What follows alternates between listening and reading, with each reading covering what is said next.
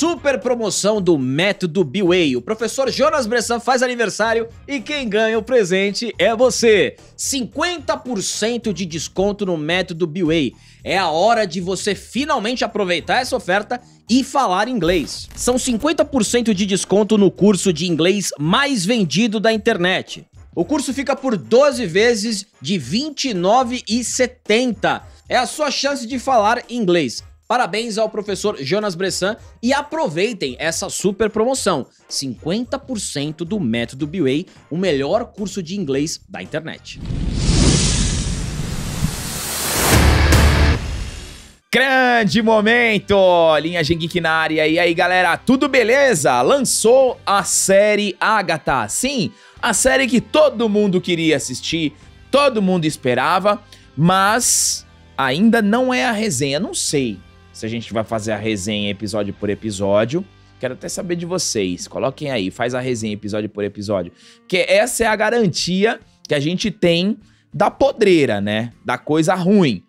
Mas é o seguinte, a, a, essa notícia é interessante porque a gente lançou essa semana a notícia que a Disney pressionou a Pixar para não fazer um Divertidamente 2 lacrate.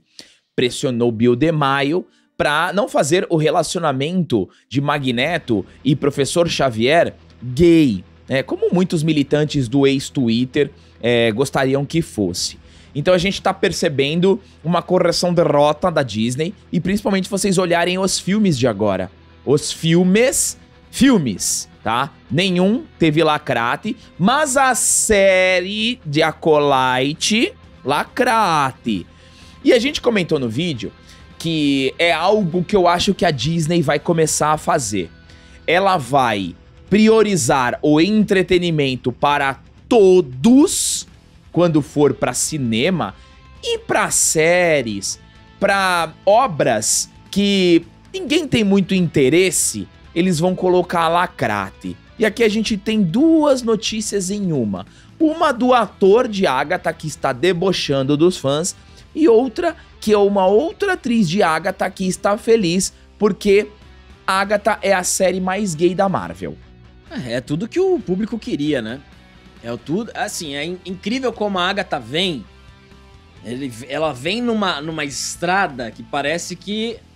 É, ela tá vindo aqui. Contramão, contramão. A galera tá indo pro outro lado. Tá vindo na contramão porque o próprio estúdio tá indo na contramão. Ele mexeu, tirou a, a grandes lacradas do Divertidamente 2 e grandes lacradas também do X-Men 97. E, é o, e fora que fez o Deadpool e o Wolverine, que é o filme mais antilacrador da, de super-herói, acredito. Com piadas claras a, esse, a essa turma. Então a Agatha tá vindo num mau momento. Num mau momento. Grande momento pra Disney que já bateu 2 bilhões aí, 1 um bilhão em cada filme, e fora o Planeta dos Macacos e o Alien, que foi bem. E ainda tem o Moana 2, animação, e o Mufasa. Tá um grande momento pra Disney, um péssimo momento pra Lacrate. E agora eu tô muito curioso, tô muito curioso para saber o que vai acontecer. Primeiro, ninguém liga pro personagem. Segundo, ninguém vai assistir isso aí. E terceiro, é isso, entendeu? Não tem terceiro. Porque o, o, o personagem nem chega numa terceira, um terceiro adjetivo. Então é interessante isso. Um personagem que ninguém pediu, ninguém conhece. Assim, é muito, mas muito nichado dos quadrinhos. Não tem, não passou por aquele aquele momento de maturação, não tem jogo de videogame, não tem nada. Nada. É. Mas tá aí. Mas eu, eu, eu quero saber.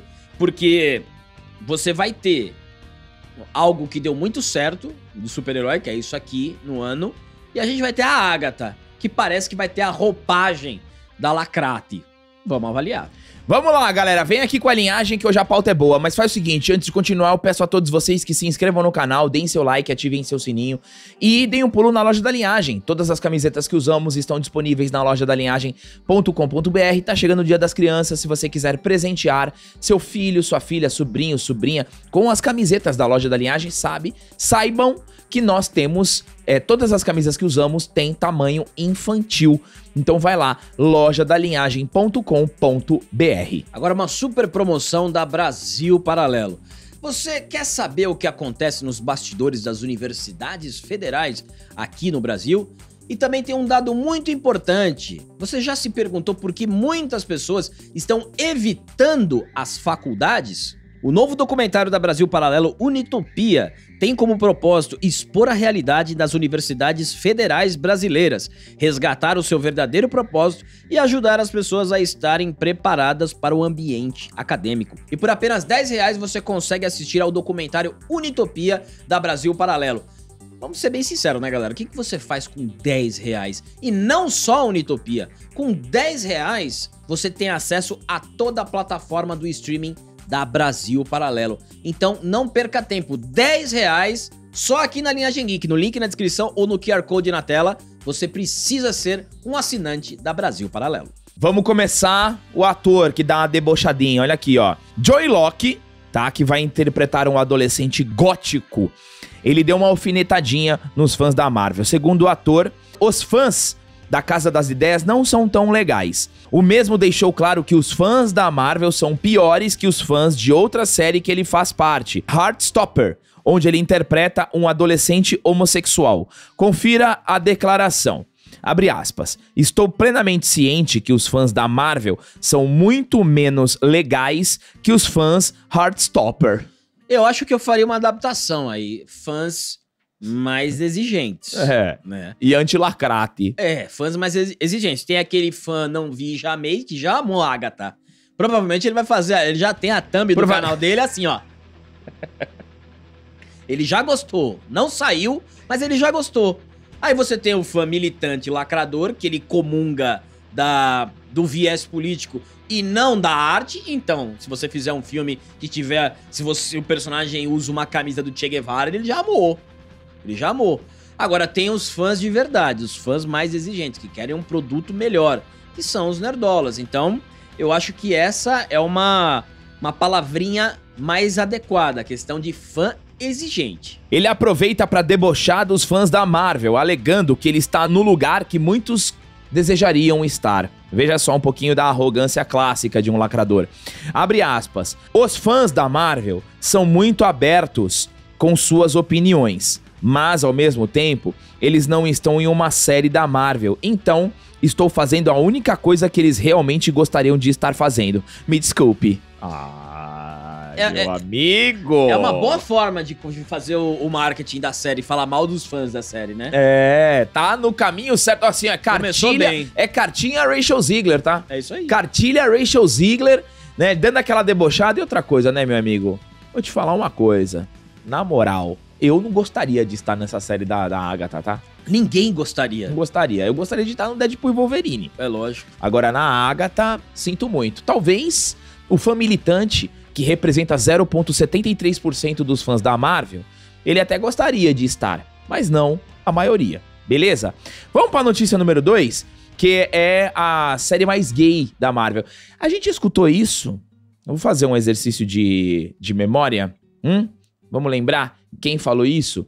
Natalie Portman, que fez a Jane Foster, vulgo Tora. Ela falou que Thor, Amor e Trovão era o filme mais gay da Marvel. Né? Tem a lacrada, tal, galhofada, mesmo Chris Hemsworth peladaça. Mas, ó, ela diz o seguinte, ó. A atriz da série Agatha desde sempre causou certa polêmica no meio da cultura pop ao fazer uma declaração tanto quanto peculiar. A atriz Aubrey Plaza interpretará uma personagem chamada Rio Vidal e que já prometeu uma grande reviravolta. Mas o que chamou a atenção foi sua entrevista para Variety, dizendo que espera que a série seja o projeto mais gay da Marvel.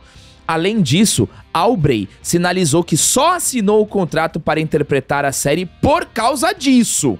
A atriz não revelou detalhes sobre os episódios, mas deixou escapar que no final teremos uma explosão gay entre a Agatha e ela. É, é uma Aí, boa... É o que todo fã quer, né? Isso, é uma boa forma de você divulgar a série. A gente já viu muitos fracassos começando exatamente assim. Muita empolgação pra sexualidade. Não empolgação pra história, pro roteiro, pra Isso. produção, né? Pra interpretação. Quando o foco é esse, costuma. Agora, que coisa incrível, né? A gente vai ter no mesmo ano o Deadpool zoando diretamente uma série da Marvel, né? Porque eles estão eles ainda em 2022. Aqui, a Agatha. Tanto que foi tão recortada que a gente. Eu tô até curioso para ver como é que vai ser. Mas tá indo na contramão do que o próprio estúdio tá fazendo. Tá indo na contramão da bilheteria. Tá indo na contramão do sucesso. Se vai acertar, hum, acho muito difícil, porque o personagem também não vai ajudar. Mas vai ser interessante ver a. É que assim, a velha Disney é a Disney era de ouro. A nova Disney seria a Disney da Lacrate. Essa aqui é uma Disney, porque parece que a Disney tá voltando a ser velha. A gente vai ter duas Disneys dentro de uma Disney. É, então. Então parece que a gente tem, vai ter. A Agatha é um projeto da Disney 2022. Vamos aguardar. E fiquem atentos, porque eu vou dizer o seguinte: essa vai ser a série de pior visualização da história da Marvel, tá? Também acho que sim. Echo, por enquanto, leva esse título. Mas eu tenho certeza que Agatha vai vir pra, pra roubar esse pódio. E eu acho que isso daí vai ser uma tendência da Disney, tá? Personagens de prateleira K, prateleira K, eles vão usar para dar essas lacradas para fazer aí o pre-coding. Né? Tudo bem, né? Vou usar esses Gostei personagens da imitação. que ninguém liga. Ninguém liga, porque Como é não que é tem a imitação? queer coding. ninguém liga e não tem alcance. É um personagem que não tem alcance. Nenhum. Não tem alcance. Então vai usar pra lacrar pra essas militantes. Ah, Isso não é uma atriz, isso é uma militante, né? Sim. Ela ficou feliz por ser uma série gay. Veja só a declaração dessa atriz. Então a gente já sabe qual vai ser o destino dessa série, né? Mas coloquem aí nos comentários. Com certeza vai ganhar prêmio da Glads. Hum? Coloquem nos comentários a opinião de vocês, que é sempre muito importante. Obrigado a todos que chegaram até aqui. Deem um triplo C, se inscrevam no canal e até o próximo vídeo. No momento que eu tive a notícia que eu fui aprovado na universidade, Foi uma conquista, né? Algo inexplicável. A universidade hoje é um laboratório social e eles experimentam. o nível de adoecimento mental, cognitivo, emocional das universidades brasileiras é muito elevado.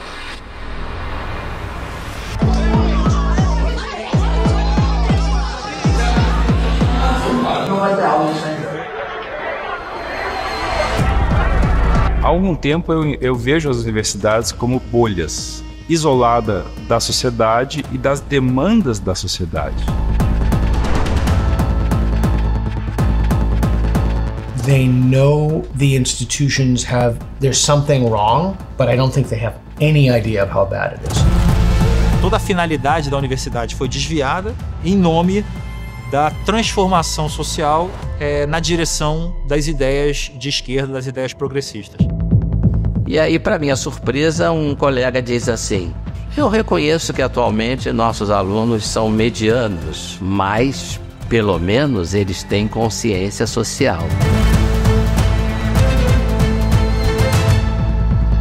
Isso começou a me fortalecer a ideia de que a gente entrou já há muito tempo numa espiral de silêncio. Né? pêndulo ideológico é aquela bola de, de demolir prédio.